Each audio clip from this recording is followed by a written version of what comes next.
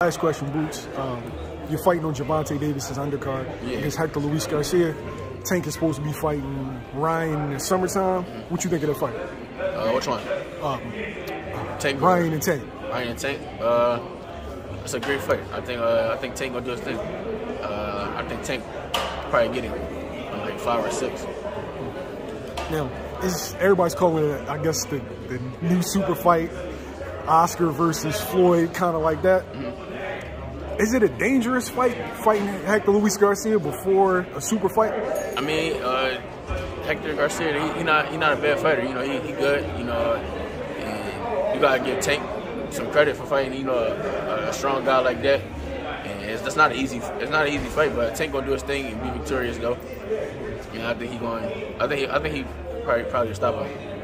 So, but it's, it's not it's not like he's picking an easy fight because that's he a tough guy. Hector Garcia, tough guy.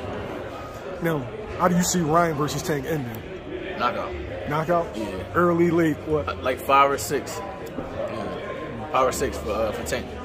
Is it a competitive fight before then? Uh, it, it could be because because Ryan a little long, but I think uh, I think Tank can figure him out and get him. Left hand, uppercut? Oh. Does that seem like it's a shot? I don't, I don't know. I just I think he'll get him. I think he just get him. Probably left left hand. Okay. Thanks, Boots. I appreciate it. Probably appreciate it.